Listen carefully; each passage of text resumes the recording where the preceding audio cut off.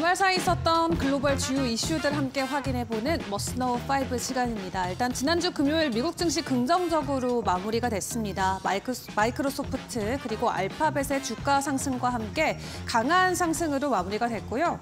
PC 지표가 발표가 됐음에도 불구하고 시장은 오히려 실적 발표에 더 주목했던 모습을 보여주기도 했습니다.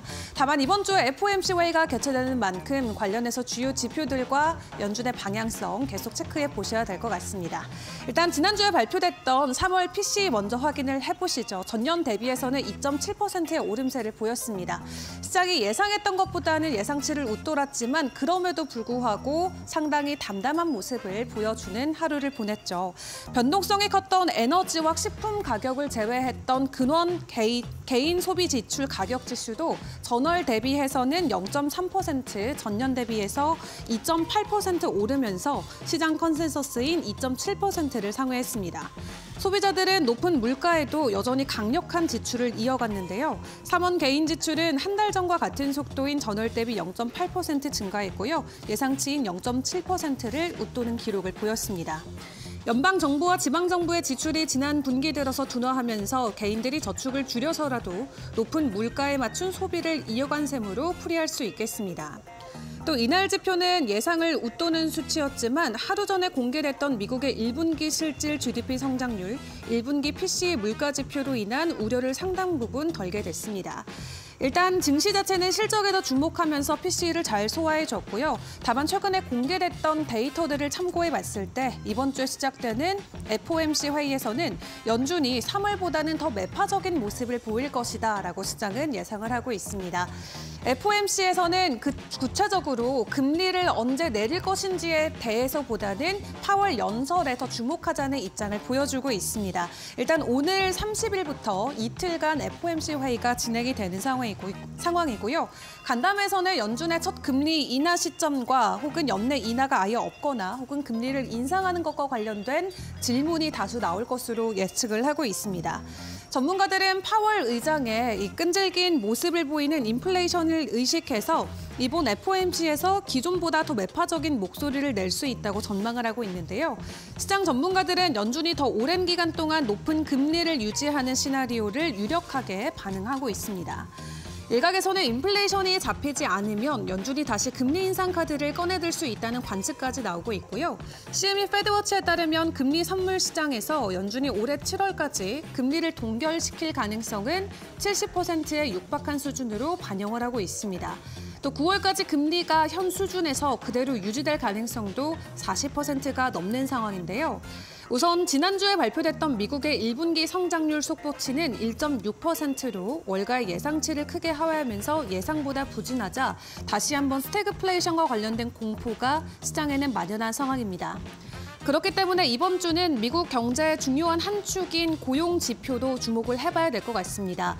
이번 주에는 미국의 노동부, 비농업 부문 고용 보고서와 구인 이직 보고서, ADP 민간 고용 보고서 등 다양한 고용 지표가 발표될 예정입니다. 월가 전문가들은 4월에 비농업 부문 신규 고용이 25만 명 늘어날 것으로 전망을 하고 있는데요. 일단 FOMC 회의를 앞두고 제롬 파월 의장의 고민은 더 깊어질 수밖에 없을 것 같습니다. 이어서 다음 소식 보도록 하겠습니다. 주말 사이 나왔던 이슈들도 체크를 해보도록 할 텐데요. 이 아이폰이 챗 GPT를 품을 수 있을 것으로 어, 시장에서는 전망치를 내놓고 있습니다. 애플과 오픈 AI의 협력 소식이 다시 한번 전해졌습니다. 올해 초에도 한 차례 있었다가 추가적인 결론 없이 마무리가 됐었는데요. 주말 사이에 다시 한번 외신에서는 이러한 내용의 보도를 전해왔습니다. AI 분야에서 경쟁사 대비해서 뒤처졌다 라는 평가를 받고 있었던 애플이 자체 AI 생태계 구축에 속도를 낼 수 있을지 시장은 주목하고 있고요. 일단 애플과 오픈 AI가 올해 말에 아이폰에 탑재할 운영체제 iOS 18과 관련된 논의를 시작했다라고 전해왔습니다. 양측 같은 경우는 어떻게 적용할지 혹은 계약 조건 등을 두고 현재 논의를 이어가고 있는 것으로 보여지고 있는데요. 앞서 팀쿡 애플 최고 경영, 경영자 같은 경우는 애플이 생성형 AI에 상당한 투자를 진행하고 있다면서 올해 말까지 이 기술을 어떻게 활용할지에 대한 더 많은 계획을 공개할 것이라고 전하기도 했습니다.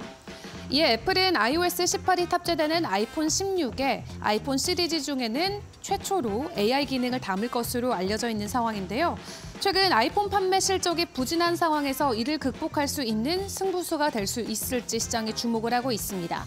이 애플과의 AI 협력설이 나오는 기업은 오픈 AI뿐만이 아닙니다. 구글의 제미나이나 앤스로픽의 클로드도 현재 아이폰 16에 탑재될 가능성이 제기가 되고 있는데요.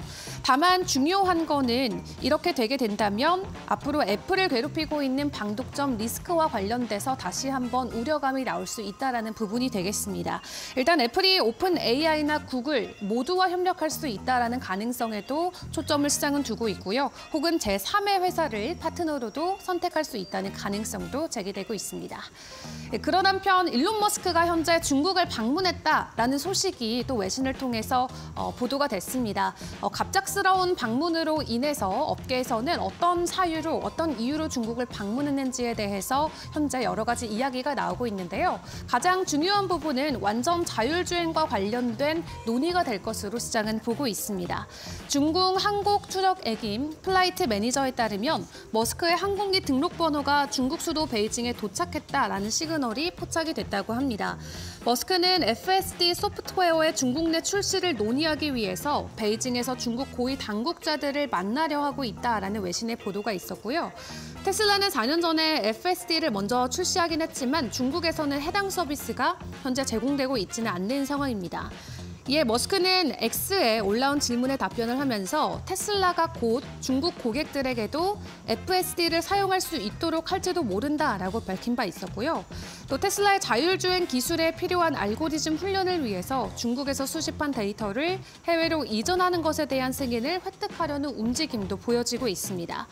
테슬라 같은 경우는 2021년부터 중국 규제 당국의 요구에 따라서 중국 차량에서 수집한 모든 정보를 상하이에 저장하고 있고요. 미국으로는 어떤 데이터도 보내지 않고 있기 때문이죠.